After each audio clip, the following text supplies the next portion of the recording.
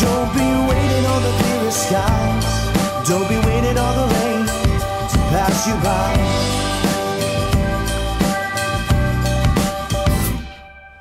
Here and now we can fantasize of the possibility to harmonize, to free ourselves from all the lies that always have the tendency to generalize. We've been taught to internalize all our dreams that could mesmerize. I see a different people who don't realize that every day of life